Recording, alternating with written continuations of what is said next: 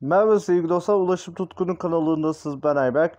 Bugün size yaptığım yeni güncelleme göstereceğim. Ee, evet Samsung Family Sunlight rüyamızın Ağustos güncellemesi bu. Bir sonraki güncelleme yılbaşına gelecek. Ee, şu anki güncellememizde baktım ki Lovelet AVM istasyonu diye açmıştık biz bunu balıkçı barınağı diye. Ee, böyle bakınca balıkçı barınağına 100 metre normalde böyle 100 metre ve markete de 150 metre bulunduğunu falan gördüm. 200 metre. O yüzden bana çok yakın gelmedi ve biz böyle kurduğumuzu gördük gördüğüm için kurduğumuzu gördüğüm için düzenleme yapmak zorunda kaldım ve mavi ışıklar yaptım istasyon adını. Ve istasyonumuzun adı mavi ışıklar. Bu arada dostlar ben normalde eee, sadece Java 1.12.2'de kullanılabilecek Metrofox eee, şeyini buraya bir şekilde aktardım. Bedrock versiyonunu e, çıkartıp yani bu Research Pack Converter'lar var ya e, kaynak paketi çeviricisi. Buradan size göstereyim isterseniz. Global kaynaklarda görüyorsunuz bir de evet Metrofox var. Ben tabii bu şeyi yüklerken salladım bunu. Basın normalde orada Nazca falan bir şeyler yazar.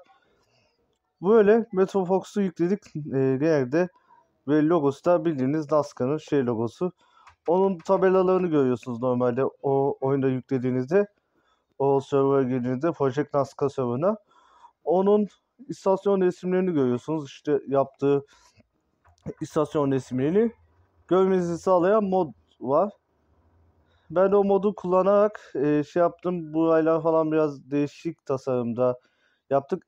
Evet dostlar bir de göstereceğim. Makaslarımız var. E, bildiğiniz üzere bu hattımızda makaslarımız vardı. E, yani dönüş yolları, makas değil dönüş yolları özür dilerim. Dönüş yollarını da gösterelim bir iki dakika ve kapatacağım zaten. Çok da bir uzun video değil. 5 dakika bir şey olacak gibi duruyor zaten. Böyle çıkacağımıza bence yok Ender gözüklemeyeceğim. Şöyle gidelim. Ee, evet. Gidiyoruz. Şöyle evet ben denemeler falan yapıyordum. Bir vagon hareket ediyor orada. Bu arada evet dostlar. Metrofox bu betonlarda çok bir değişiklik çıkarmıyor. Sadece renklerini birazcık kontrast falan veriyor. Evet bu trende böyle hareket ediyor. Çünkü deneme falan yapmıştım. Dostlar bu yolla gördüğünüz güncellemede şey değildi. Şey durmuyordu.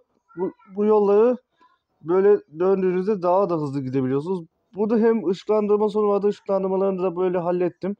Bu şekilde dönebiliyorsunuz.